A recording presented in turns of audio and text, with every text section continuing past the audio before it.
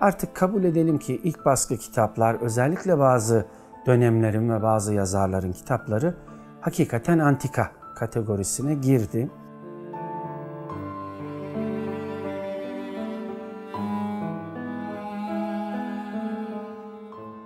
Bu anlamda kategorilerin oluştuğunu gösteriyor.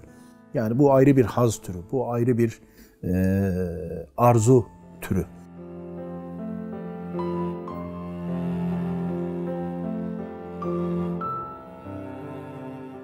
1970'li yıllarda, 60'lı yıllarda yok gibiydi. Öyle bir piyasa yoktu. Yani bizim ustalarımız, bizim ustalarımız aa bak bu filancadan imzalıdır diye kitap satmazlardı.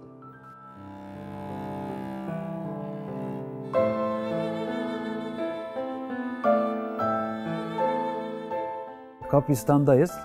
Bunların hepsi e, mevtaların terekesi. Bir sürü e, hayatlar yaşadılar birlikte. E, insan gitti, eşya kaldı.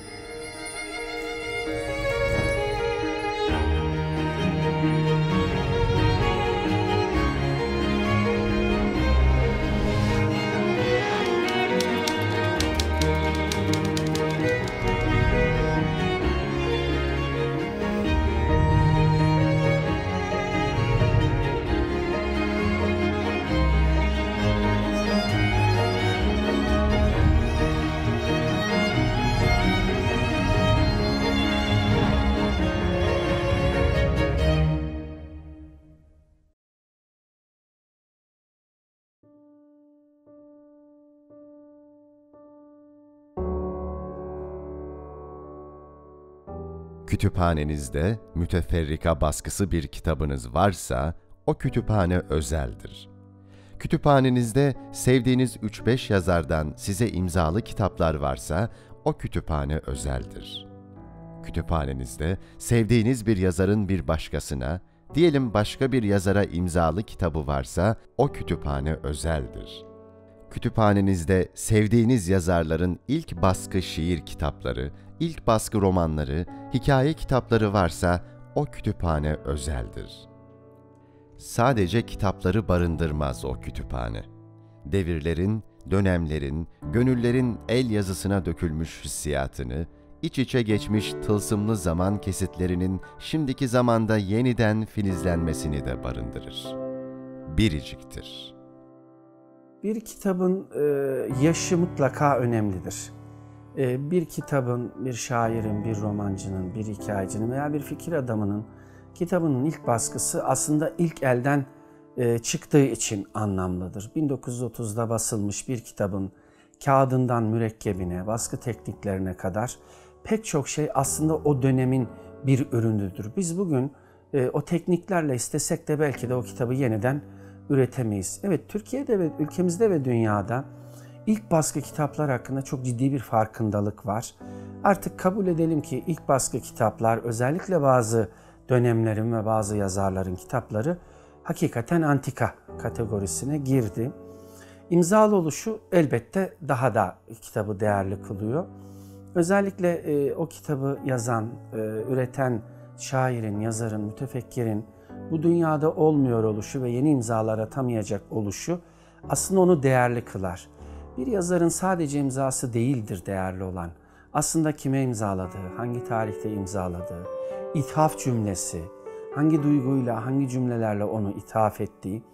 Elbette e, günümüzde imza günleri düzenleniyor ve bir yazarımız e, bir gün belki de 300-400 tane kitabı e, imzalayabiliyor. Aslında bu seri üretim bir imzadır ki bazı yazarların artık kitaplara kaşelerini bastığını görüyoruz. El yazısıdır değerli olan burada. Kendi el yazısıyla tarihini, ithafını bir ana adanmışsa ki bence bu çok önemlidir bir kitabın tarihinde. Hangi duyguyla, hangi bağlamda, nerede imzalandığı, etrafta kimlerin olduğu bile önemlidir.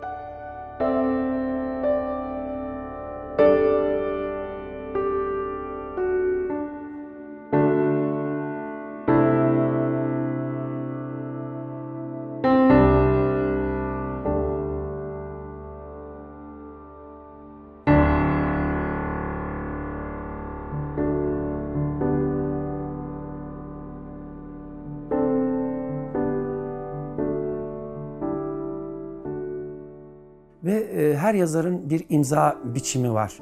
E, söz gelimi Cemal Süreyya kitap imzalamayı bir sanat gibi gerçekleştirir. Üzerine çizimler yapar. İmzasına özel kaligrafik, görsel unsurlar katar.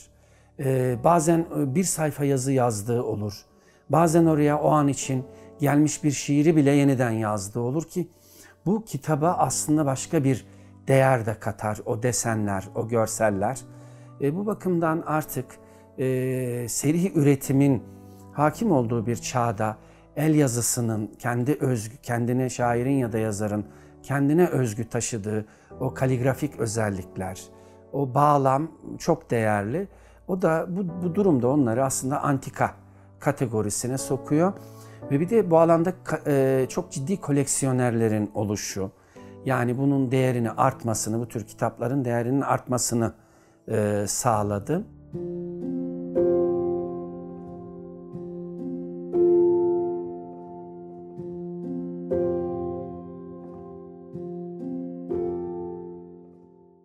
baskı, ilk göz ağrısıdır bir yazar için. Sevdiği bir romancının, şairin, hikayecinin ilk baskı kitabına sahip olmak, okur içinde, kitap sever içinde, sahaf içinde tarifsiz hazlar ummanıdır. Hele bir de imzalıysa, imza ile birlikte sınırlı sayıda basılan bir ilk baskı biricikleşir. Tek nüshadır o artık. Sadece sizde bulunur. İthafı özeldir çünkü. Kime imzalandığı önemlidir.'' yazarın kitabını imzaladığı kişi edebiyatçıysa, bilinen bir isimse değerine değer katar. Parayla ölçülemeyen bir değerdir bu.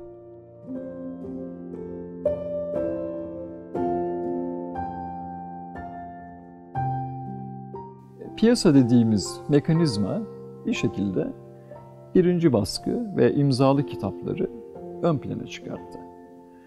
Dolayısıyla siz bir malı bunun içerisinde kitap da dahil, bilgi de dahil, pek çok şey de dahil edilebilir.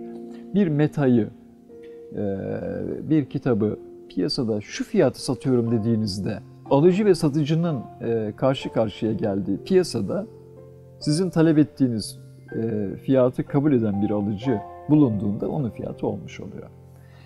Buradan şöyle bir sonuç çıkartılmasın. Bu fiyatlar geçerli değil midir, sahte midir, e, yerinde e, fiyatlı, fiyatlar olarak görülmememiz mi lazım? Elbette böyledir. Ama tamamen böyle midir? Bunu e, sorgulamak lazım. İlk baskı kitaplarla ilgili olarak müellifinin, e, yazarının, şairinin ya da işte fikir adamının, düşünce adamının e, sağlığında neşrettiği, e, yayınladığı kitaplar bağlamında ilk baskı kitap şüphesiz ki önemlidir.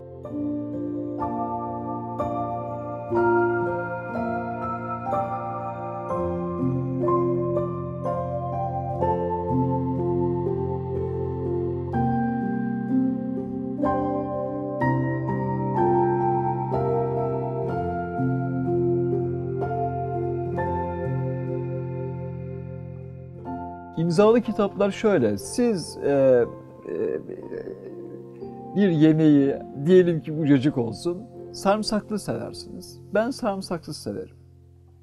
İmzalı kitaplarda da e, siz şu şairi seversiniz, ben şu yazarı severim. Bu biraz böyle bir şey. Dediğim gibi e, algı son e, yıllarda, e, özellikle 10-15 yıldır Nazım Hikmet Turgut Uyar, Edip Şansever, efendim e, ve benzeri e, vefat etti Sezai Karakoç'un e, beyin imzalı kitapları artık kıymetli olmaya başladı. Bu aslında imzalı kitap kitabın değeri üzerinden diğer kitaplara da değer atfetme niyetini barındırdığı için böyle bir biz bir iyi niyet e, taşı, taşımamız, taşımamız lazım gelir diye düşünüyorum. Dolayısıyla bu buna vesile olursa e, bizim için faydalı olur. Onun dışında e, benim için Cevim Meriç'in imzalı kitapları e, kıymetlidir. İşte bulundurmaya çalışırım vesaire filan. Ama bir başkası için bir başka şeydir. Dolayısıyla burada piyasaya da çok fazla şey yapmamak lazım. Şunu da konuşmak lazım tabii. Bu bir bakıma aslında bir borsa niteliği kazandı. Yani siz şimdi 1000 liraya bir e, imzalı kitap satın aldığınızda bu 3 yıl sonra 5000 lira yapabilir. İnsanlar bunu düşünerek de e, imzalı kitaba yöneldiler.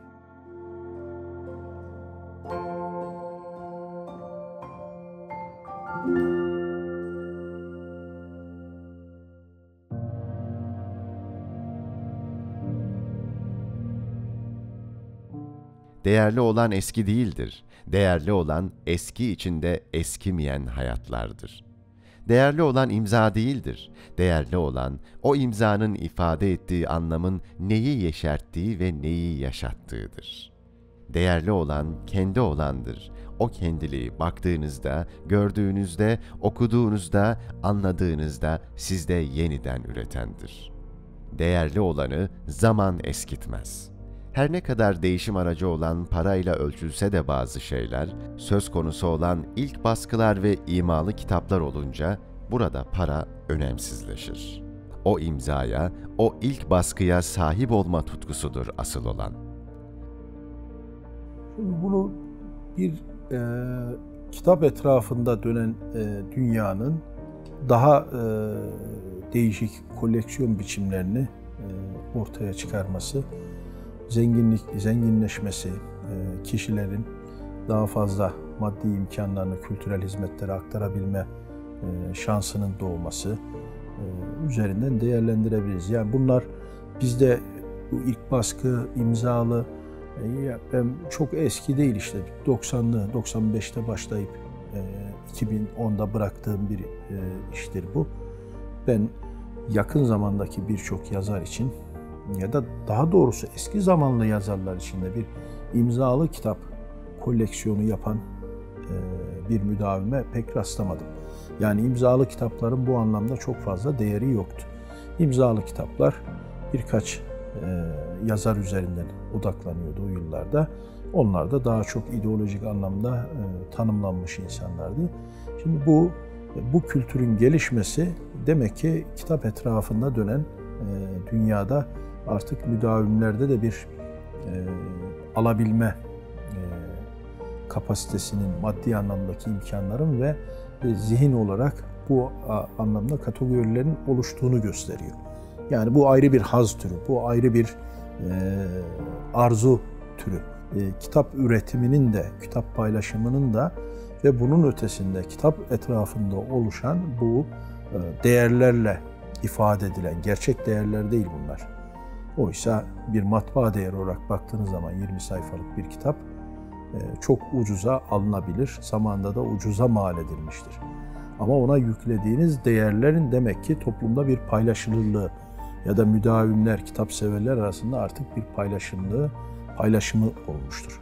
Bir başka referanslarla e, piyasa referan, e, oluşan bir piyasa vardır. Yoksa bir kütüphane için ya da matbaa için bunlar hala maddi değerler olarak çok da değerli değildir. Bu iyi bir gelişmişliği gösteriyor.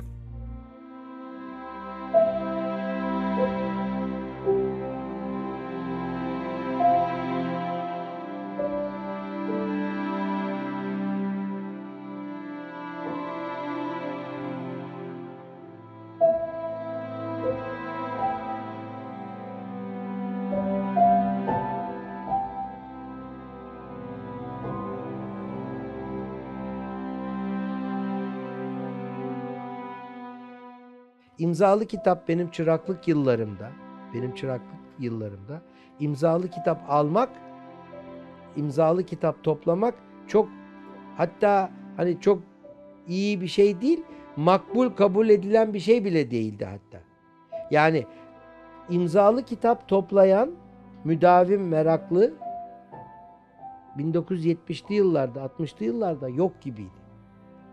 Öyle bir piyasa yoktu. Yani bizim ustalarımız, bizim ustalarımız Aa bak bu filancadan imzalıdır diye kitap satmazlardı. Bunu önem vererek ya da fiyat arttırarak kitap satılmazdı. Hatta ve hatta bazı kitap müdavimleri kitabı tam tersi imzasızını tercih ederlerdi. Çünkü e, Yani hani laf olur. Efendime söyleyeyim böyle bir piyasa olmadığı için o kütüphaneden kazayen çıkmıştır veyahut da işte emanet verdi de geri mi almadı gibi bir takım böyle e, şey suallere muhatap olmamak üzere tercihan şey olurdu. E, imzasız ve üstünde herhangi bir karalama vesaire olmayan kitaplar tercih edilirdi.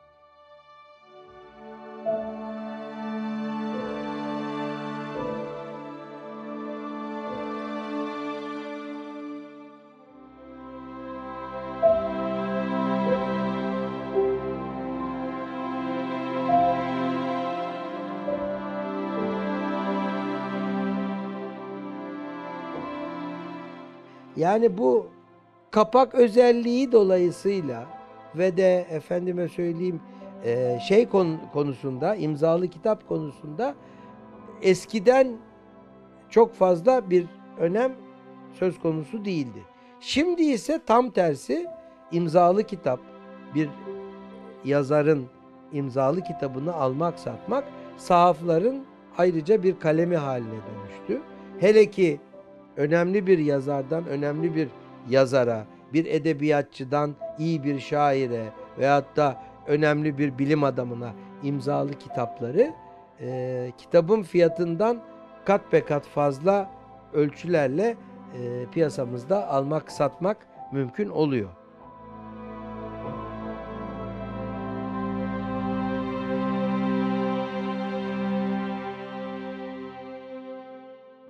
İster gelişmişlik göstergesi olarak tanımlansın, ister kitap etrafında oluşan yeni bir ilgi ve anlam zenginliği olarak görülsün, isterse arz talep ekseninde değerlendirilsin, ilk baskı ve imzalı kitap ilgisinin artması en fazla sahafların işine yarıyor. Ayrı raflarda tutuluyor o kitaplar. Ayrıcalıklı meraklıları var. Ayrı bir kalem oluşturuyorlar.'' Sahaflığın, yayıncılığın, kitapçılığın tarihine yerine göre sevinçli, yerine göre hüzünlü dipnotlar düşüyor ilk baskı imzalı kitaplar. Hepsinde samimiyetin sıcaklığı var. Hepsi özgün ve özel. Şimdi bu tutku tabii ki ben 25 yıl evveline gittiğimde bizim hitap ettiğimiz muhitte pek yaygın bir şey değildi. İmzalı kitap, birinci baskı toplayayım. Ee, 2000'lerden sonra hatta 2007 diye de ben şey yapabilirim, yaşadığımdan söylüyorum. 2007'den sonra ilk baskı kitaplara, birinci baskı kitaplara ve imzalı kitaplara bir yöneliş başladı. Tabii Avrupa'da bu gelenek çok daha eski. Bizden daha evvel e, var olan bir şey. Bizde de 2000'lerden sonra biraz belirgin hale geldi. E, ya sıradan gördüğümüz, ucuzluk rafına koyduğumuz büyük şairlerin, biz küçüğüz aslında, büyük şairlerin büyük kitaplarını, ilk baskılarını son derece ucuz fiyatlara verirdik. Şöyle de kendimi muhakeme ettim. 2006 yılında tutunamayanları 50 liraya sattın. Ya büyük yanlış mı yaptın? Hayır. 2005'te öyleydi.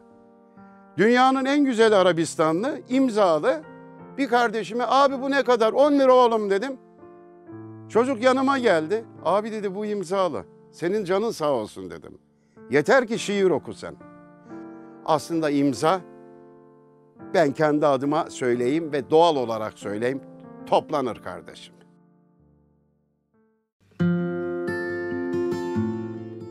Yarın bir sahafa yolunuzu düşürün ve hangi yazarlardan imzalı kitaplar olduğunu sorun. O kitaplarda el yazısıyla yazılmış ithafları okuyun. Kimlere imzalanmışsa o isimleri merak edin. Kitabın imzalandığı mekan ve tarih kayıtlarına bakın.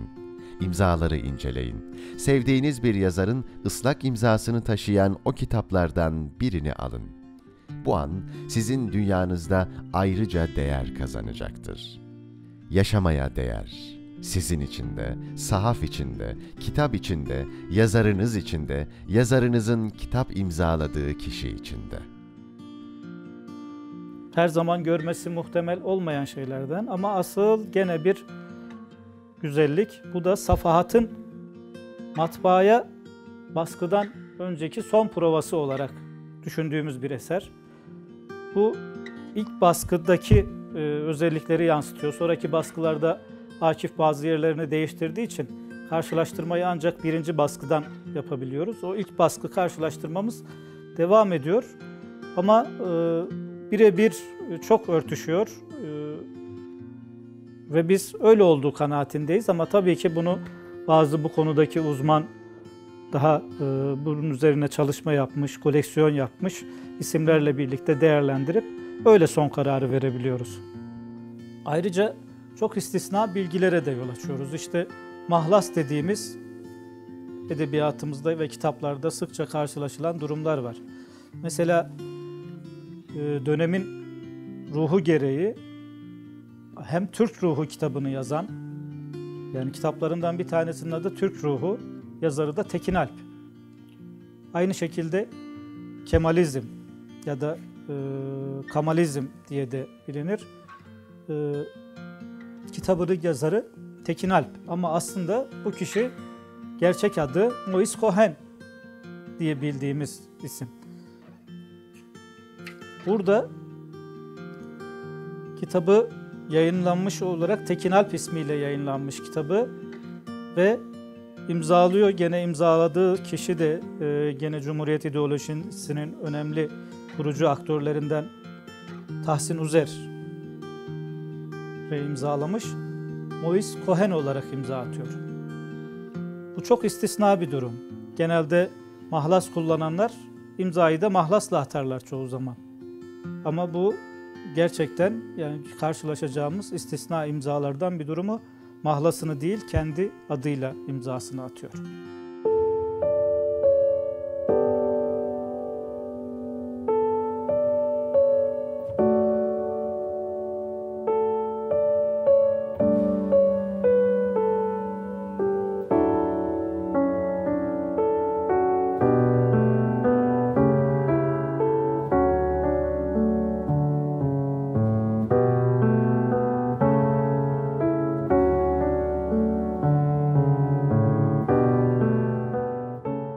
Kitap alıp vermek, kitap hediye etmek ve bu hediye edilen e, kitabın üzerine e, güzel sözler yazmak, yani o ithaf dediğimiz, taltif edici bir şeyler yazmak ve bunu imzalamak hakikaten önemli bir şey.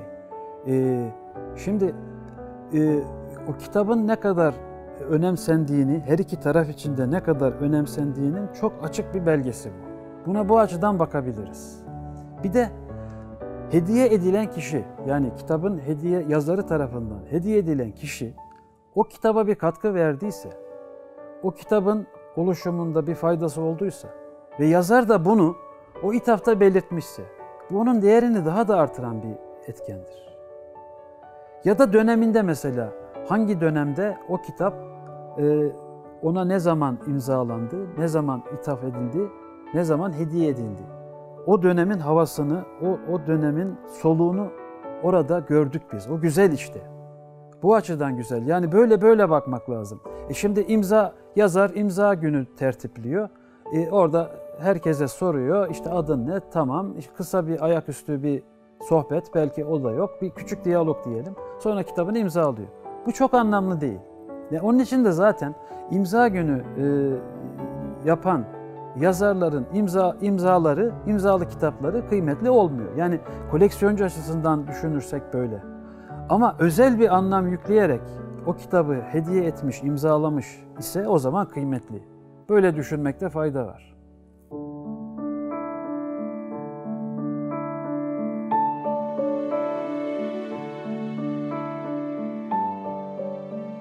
Ben bir ruhlarla beraber yaşadığımı düşünüyorum bir sürü ruhla beraber yaşıyoruz işte. Yani e, kabristandayız. Bunların hepsi e, mevtaların terekesi. Bir sürü e, hayatlar yaşadılar birlikte. E, insan gitti, eşya kaldı. Yani ama onların içine onun ruhu sindi. E, onun e, yaşanmışlığı sindi. Bunlar oldu.